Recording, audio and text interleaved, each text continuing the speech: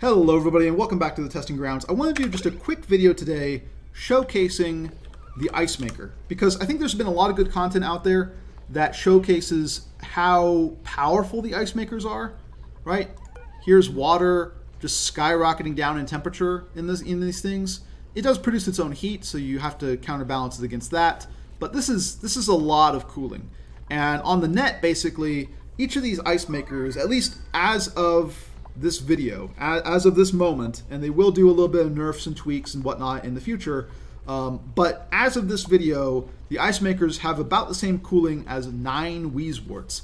And this is a fairly easy to tech, tech to reach early on. Uh, it doesn't really require anything crazy. And so if you find yourself on a seed that doesn't have an ice biome, or the ice biome is very far away and you have more immediate needs for cooling down your base, uh, these are a great option. I think they're a great option throughout the game. But a lot of the content out there has, has been showcasing the power of them, how quickly these things cool down water, and, and on the net, how much cooling power they have. But they don't really put it together in a way that makes a lot of sense. A lot of them just take the ice and they dump it into a pool, uh, sometimes the pool that they're drawing water from, and you'll see these systems just, in the long run, they just turn the entire pool into ice, and they don't really get that much cooling done because the ice isn't transferring or isn't absorbing much heat from its surroundings. The thermal conductivity isn't very good. And so I think the main point of this video, the main thing I want to emphasize is that if you want to use ice makers and really harness their power, you need to also build a heat exchanger to take advantage of them. So I wanted to show off a really quick and easy way that you could set up a heat exchanger. This isn't meant to be an ideal build. It's just something that it's meant to be, um, you know, these four high rooms that are very common in a lot of people's bases. Just to set up a four high rooms, we have a four high room that is our reservoir, a four high room that is our ice maker room. I've made it uh, 20 tiles wide simply because I wanted to, to, be able to take advantage of two auto sweepers and have a pitcher pump in here, but you could do things a little bit differently, right? You could have this 4x16, which is kind of the more standard setup, but let me go ahead and refill the hydrogen, because it's running out in my one room here, we're going to put in hydrogen that's about 72 degrees Celsius, like so. Uh, we have 72 degree uh, Celsius crude oil, and we're going to cool them both down. This is a little bit colder than it should be, I think, but we're going to cool them back down to around 20 degrees using these ice makers and using this heat exchanger. Let me go ahead and vacuum out yeah, let me vacuum out these areas and we can get the exact temperature that this is getting cooled down to. Yeah, this is around 20 degrees actually. Okay. In any case, um, so we have these ice makers going. We have our heat exchanger room up here. We have our reservoir that we're filling up these ice makers with over here. Uh, it's a pretty simple setup. Let's go to shipping, conveyor rail. The first thing I do is I, and this can just be normal tile. This doesn't have to be metal tile. Igneous tile works fine as well. Uh, the first thing I do is I want to make sure this ice room stays cool because these these ice makers themselves produce um, four and a half kilo DTUs per second. That's a pretty good amount of heat. So the first priority is you want these things to cool down themselves. And so I have my uh, sweepers loading things up into these conveyor loaders. They're loading them up into uh, conveyor rail. And the conveyor rail is first traveling underneath these ice makers to make sure that this reservoir doesn't get too hot, these ice makers don't get too hot, that this room stays relatively chilly because it's going to be where duplicants are uh, and running around and doing stuff. Then it travels up to these iron metal tiles. And this is all just easy to obtain stuff. This is iron ore, iron, some gold, uh, no steel or anything is really necessary here. Uh, all this all this works fine with whatever materials you have, basically. And we see the ice traveling around here, and it reaches a point where it melts, right? It's absorbed enough heat, and it finally melts, right? So all across here, you're going to have this ice melting a little bit, melting a little bit, melting a little bit. And all that water is just going to kind of drip down to here and then drip back into our input reservoir, right? So we have a, a closed loop. Whoops, uh, didn't mean to do that.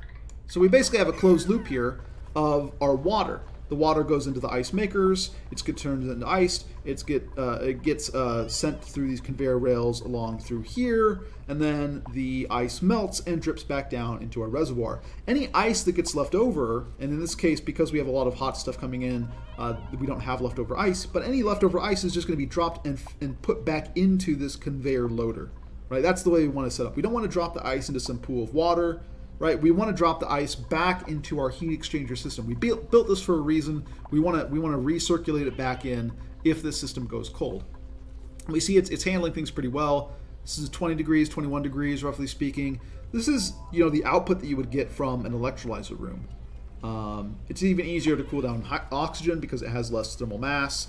Uh, here we're using crude oil. This could be polluted water potentially. As long as it isn't water, you're fine, right? But this could be um, any system where you have a um, thermal aquatuner, thermoregulator, anything like like that that's heating up some area. You can take the the hot stuff from there and pump it out through here if you want to get it cold again. A lot of options.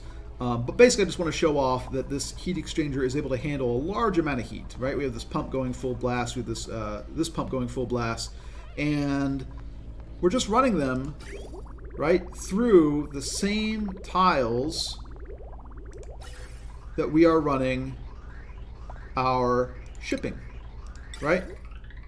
I've set it up in a counterflow heat exchange because that's going to be a little bit more efficient in terms of this heat transfer. You don't necessarily need to do a counterflow heat exchange. Counterflow meaning that the cold stuff is coming in from this direction, the hot stuff is coming in from this direction. You, you could set this up where they're, they're both traveling along the same line. That'd be fine. You know, you can tweak the system to, depending upon what you need. Um, you could also run another heat exchanger down through here. Right here we have a lot of fairly temperate water. Uh, you could have something circulating around your base to kind of keep your base around the whatever temperature this water's at. That also works. Um, but the main thing, the main point I want to emphasize, you need this heat exchanger to make this system work. You need a heat exchanger because you're just not going to get good conductivity from the ice to whatever you're dumping it into. You need to be sending it through a system which is going to radiate uh, well, I mean, radiating the cold is the wrong way to, to kind of phrase it, but a way that's going to um, exchange the heat very efficiently with whatever it is you're trying to cool down. Whether it's oil, whether it's some gas from an electrolyzer room, right? This doesn't take too much in terms of duplicant labor. And this is a fairly foolproof system. Let's say we went ahead and we said, I am going to shut off the power to these pumps, right? So let's say I don't have anything more to, to cool down. Obviously, the answer to you know having too much stuff to to cool down is I just need to build more ice makers and extend out this room, right? I just need to increase my capacity, my cooling capacity, if I want to uh, uh, continue this system. But let's say let's say the system goes cold, right? I'm no longer pumping in hydrogen or oil, right? This is all done. Uh, this is all done. My electrolyzer room turned off, let's say. If we go to temperature here, we're going to see this slowly start to get colder and colder and colder, right? as, as we get a, the ice melting over here, there's going to be no heat to kind of replace that coldness. So some ice melts over here. Suddenly all of this is, is inundated with a bunch of zero degree water and it cools down. And eventually what's going to happen is we are going to get ice falling back into here, right? And it is going to be recirculated through the system. And so what the system is ultimately going to look like when we're kind of all said and done, right? is this line is going to fill up with a bunch of ice, and then we're going to end up with a bunch of ice stored in these conveyor rails, and a bunch of ice kind of sitting around on the floor. And when the system heats back up again, right, we'll have a little bit of ice up here, but it's going to remelt, right? Like this water will turn into ice, but this ice won't be adding to that system because it'll just be, you know, running through here and, and falling back down into here. Um, when the system freezes up, like it's starting to do now, we're just going to be accumulating cold in this room. And then the next time we boot the system back up, we're going to have a lot of cooling kind of already. So we see uh, this ice, this all starting to turn to ice, right up here. We see more and more ice making its way down to here. So this system reaches its sort of its lockup state, right? This is all fine though, right? Now that we have, we can have a thermal sensor up here that says, okay, this is below zero degrees Celsius, turn these things off. If we wanted to save the, the power, save the duplicant labor, save whatever, right? But basically what's going to happen is this room that we have here is just going to slowly start turning to negative 20 degrees. And in fact, the way we're going to be doing it is that we're not going to have a bunch of ice down here in our reservoir. The ice is all going to be up here right? Ready uh, to be loaded up into these conveyor loaders when the system boots itself back up again. And when it boots itself back up again and this ice starts melting again, the water is going to refill our reservoir. So there's really very little in the way of failure states here, right? This is all a pretty easy system. Like if I took this now, if we go to temperature, right? This is around negative 10 degrees. Uh, we could get it all the way down to negative 20 if we let the system run continuously, right? Uh, I'm not going to go ahead and do that because that'll take a while. Let's go to power and conductive wire, uh, wire this back up. So we turn the system back on, and what we're going to see is that we are going to start um, getting water again, right? This hot stuff is going to start melting stuff. This ice is slowly going to turn back into water.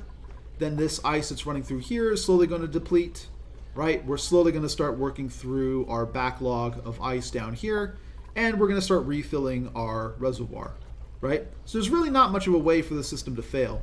Let me go ahead and also, um, basically these outputs are going to be colder for a while. So you will have to deal with that. There's kind of spikes and variation in temperature. With, but this is a very simple system I want to emphasize. There, there, are more complex things you could do if you need precise temperatures for this, this area. But um, let's go to fill, vacuum, delete these, right? This crude oil is now at around negative 4 degrees. This hydrogen is around 4 degrees. Yep. And so we're just starting to melt our ice in the system. We go back to shipping, we see it starting to deplete now, right? We've run out of our backlog of ice over here, and we're back into normal operation. So you don't really have to worry about the system, right? As long as you're comfortable with this room and these outputs reaching negative 20 degrees, which is the minimum temperature of these ice makers, right? Or they'll be a little bit more than 20 negative 20 degrees, but as long as you're fine, right? As long as this isn't water or you know you're you're this isn't really thermally connecting with the rest of your base in a big way, right?